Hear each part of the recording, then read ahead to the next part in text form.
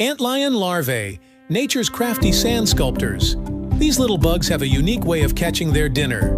These small larvae make cone-shaped pits in the sand. They dig by moving backward in a circle, throwing sand out as they go. Once the pit is ready, the antlion larva buries itself at the bottom, with only its jaws sticking out. It waits patiently for an unlucky bug to fall in when an ant or another small bug steps into this sandy trap. The loose sand makes it slide down right into the antlion's jaws. It's almost impossible for the prey to climb back out. Once the bug falls to the bottom, the antlion quickly grabs it with its strong jaws. It's a simple but effective way to catch food. The antlion larvae might be small, but they are smart and patient hunters.